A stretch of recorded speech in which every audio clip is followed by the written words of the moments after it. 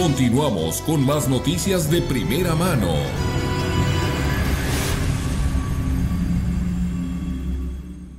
Bueno, seguimos adelante y yo le aprecio, le aprecio de verdad, eh, agradezco que Gildardo Real eh, Ramírez me tome esta llamada telefónica. Gildardo, muchísimas gracias y muy buena tarde. No, el agradecido soy yo. Muy buenas tardes, maestro, a tus órdenes. ¿eh? Bien, aspirante a la presidencia del Comité Directivo Estatal del Partido Acción Nacional, esto que ya está desarrollándose pues una convocatoria para establecer la nueva dirigencia del eh, partido y tú eres un aspirante serio y desde luego reconocido por su trayectoria, Gildardo. No, hombre, gracias. Sí, salió la convocatoria ya hace algunas semanas y me registré el día último que tenía yo para registrarme con mi planilla, el día sábado este que acaba de pasar Sí. Eh, eh, fuimos ahí alrededor del mediodía en el PAN estatal y de ahí empieza una campaña de cinco semanas que nos va a llevar a una elección en la que pueden participar los militantes del PAN, que son alrededor de 8.400 militantes, y la, la, elección es con voto directo en, en, en un día domingo, 5 de diciembre, eh, este, en, en casi en todos los municipios va a haber urnas, ¿no? Ponen, ponen mesas de votación como las que conocemos nosotros en las, en las elecciones constitucionales. Casi en todos los municipios ponen una urna y ahí vamos a poder participar todos. ¿Cuándo se va a llevar a cabo esto? ¿Qué fecha? El 5, 5 de diciembre, domingo El 5 de, diciembre. en, en cinco semanas. Entonces va a haber pues prácticamente un mes, todo el mes de noviembre vaya en, en, campaña, en campaña interna. A ver, eh, Gildardo, eh, se antoja, sí, eh, de primera mano, se antoja observar que hay grupos interesados en captar, en conquistar la presidencia del PAN. Por ejemplo, por ahí vemos a Guillermo Padres, quien reapareció públicamente como lo sabemos. Eh, y eh, pues eh, no es ningún secreto, Gildardo Real siempre ha sido ligado con Javier Gándara Magaña. ¿Llegarán verdaderamente unidos o muy divididos en este encontronazo interno, Gildardo? Pues espero que unidos, ¿eh? Trabajo y trabajamos porque, porque, porque lleguemos lo más unidos posible. Estamos pasando por una crisis en el PAN, vale la pena decirlo con sus letras, vale la pena ser autocríticos nosotros mismos nos hemos alejado de la gente, no es el pan de, de, finales de los 90, no es el pan mismo de principios del 2000, aquel pan que tenía una excelente imagen en la ciudadanía porque gobernábamos en muchos ayuntamientos, porque teníamos algunos diputados, seguíamos siendo demócratas, seguíamos con, con una vida interna en el partido muy, muy interesante, con, con el centro en el militante del PAN, con la figura esta del municipalismo, donde cada municipio decidía sobre su rumbo, decidía sobre sus candidatos. Eso cerca del 2006, 2008, 2009, con algunas reformas a los estatutos y otras actitudes de nosotros mismos, que vale la pena decirlo que yo también soy parte responsable de eso.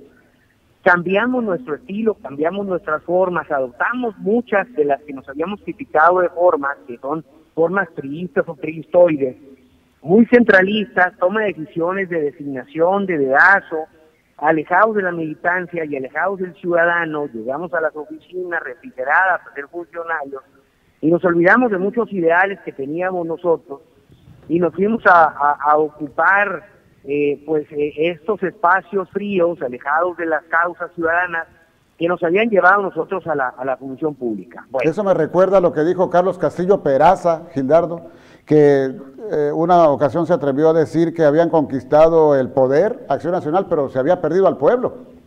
Es correcto, él decía eh, que, que, que, a final de cuentas ganamos, ganamos el gobierno, pero no, pero no perdamos el partido.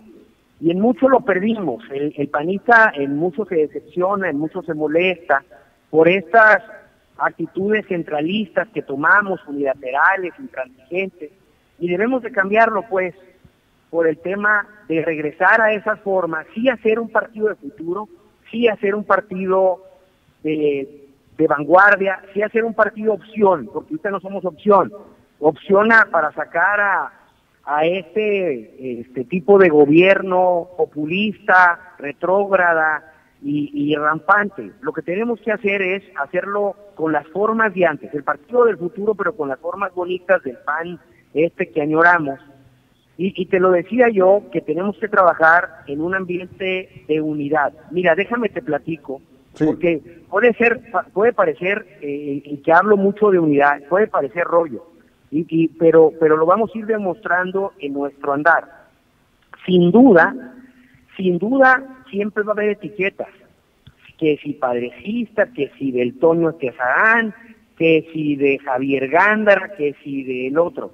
Aquí lo importante ahorita es, ante la crisis en la que estamos pasando y que bien la dibujas tú y que, te la estoy platicando yo, sin duda poner los pies en la tierra y, y, ver que nosotros solamente representamos ante la ciudadanía el 11% de, de la percepción de la aceptación del ciudadano. Por eso tenemos que unirnos, por eso tenemos que, que juntarnos todos en los órganos de decisión. Yo, yo como ejemplo te doy la planilla que me acompaña. La planilla que me acompaña refleja esta unidad y esta falta y este abandono al centralismo porque viene gente de todas las regiones del Estado. ¿Quién te acompaña? ¿Me puedes mencionar algunos, Gildardo? Sí, como secretaria general llevo a Celina Aldana, una persona de Nacosari que es muy bien vista, que han gobernado ellos como pareja junto con su esposo Marco allá en Nacosari. Ella ha sido candidata en el distrito 18. También me acompaña Ramón Corral Ávila, él es candidato a gobernador. También me acompaña José Cerrato. José Cerrato fue diputado local, un político conocido en, en, en Sonora, familia de políticos bien aceptados. También me acompaña Everardo López Córdoba de San Luis Río Colorado, ex diputado local, ex diputado federal, ex dirigente juvenil del Estado. Me acompaña Carol Camus, una persona muy muy querida allá y muy respetada en, Cajeme, contador, empresario, hijo del primer presidente del PAN de Cajeme, hijo de los unos, uno de los fundadores del PAN en Cajeme, de don César Camus. También nos acompaña Dulce Robles, Dulce Robles es, es eh, fue hasta hace muy poco dirigente dirigente juvenil del Estado de Sonora del PAN y es la directora del Instituto de la Juventud con Toño Sí. También nos acompaña Clemen Elías, que fue ella este, la secretaria de Promoción Política de la Mujer hasta hace poco. Me acompaña Leticia Amparano de, de Nogales, este, este, también. La verdad es que nos Ah, y, me acompaña Ana María Gutiérrez de Caborca, fue diputada federal ella también. Lo que te, lo que te quiero decir es que, eh, como puedes ver, no solamente son personas de Hermosillo y no son, y no son, no son personas necesariamente de una corriente. Yo, yo me, gusta decirlo porque yo respeto mucho a Ramón Corral, pero nunca en mi vida había coincidido con él. Siempre habíamos estado en proyectos internos diferentes, con todo el respeto y todo. Hoy estamos coincidiendo porque tenemos un proyecto de unidad. Lo primero que tenemos que hacer, maestro, es regresar en la vida interna al partido para que el, panista se sienta integrado, se sienta en participación, se sienta motivado y de ahí irnos a las calles, irnos a las colonias, irnos a, a tocar puertas, irnos a las causas del ciudadano. Alguien tiene que representar a los cerca de 700 mil personas que no votaron por Morena para el gobierno del Estado y al un millón setecientas mil personas que viven en este estado y que no votaron por Morena tampoco. Entonces, eh, creo que es bastante conveniente para el estado de Sonora que, que haya equilibrios, que haya oposición, una oposición, a ver, una oposición no, no irresponsable, una oposición inteligente y con causa, que es lo que vamos a formar nosotros como Partido Acción Nacional. Al final del día, lo primero que tenemos que hacer es reestructurarnos como partido para, para hacer opción, que no la somos ahorita, una opción en unos años, de aquí al 2024, una opción fuerte, integrada, no popular, más bien haciendo política y dialogando de manera humana, pero una opción electoral importante con personas que, que quieran venir al partido, que, que sean hoy en día este, caras nuevas y que puedan llevarnos a una estructura con por lo menos del doble de nuestra presencia actualmente, es decir, el doble de alcaldes de los que nos representan ahorita, el doble de diputados locales, una buena presencia de diputados federales. En fin, debemos de poner metas muy claras para podernos evaluar con constancia. Bien. Oye, Gildardo, y a ver, ahora que hablas de caras nuevas y dices que también ahorita no es opción, lo cual eh, eh, asumes una realidad del escenario que está viviendo Acción Nacional, entonces, ¿qué decirle a esos, pues a esos prohombres tradicionales del PAN que también pues quieren seguir adelante con sus tentáculos? ¿Qué decirle a Javier Gándara? ¿Qué decirle a Guillermo Padres? ¿Qué decirle a esos personajes que quieren meter la mano desde luego y ganar en esto? Yo creo que las personas que están mencionando sin duda son personas a la vista del público y, vista del ciudadano. Pero hay muchísimos panistas, somos 8.400 panistas. Son, hay muchísimos panistas valiosos que sacan la casa, que cuidan las casillas, que se van a hacer labor social y comunitaria en las colonias y son, son panistas muy reconocidos. Muchos de ellos tienen las llaves de las iglesias, muchos de ellos eh, arreglan los parques, muchos de ellos son conocidos porque hacen gestiones de salud y de recetas en las colonias. Te puedo hablar de un Armando Madrigal de Cajén, de Doña Amada en Cajén. Te puedo hablar de la gente de Caborca, de Maritza Vázquez. Te puedo hablar de Salud Río Colorado, de Nereida. Te puedo hablar en Guatabampo, de Salvador Rubalcaba. Te puedo hablar de muchísimos panistas.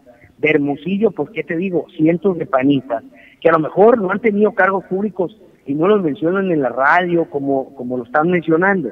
La verdad es que yo, yo, yo, yo abandonaría el tema de las etiquetas. Va a haber, va a haber caras nuevas buscando las candidaturas.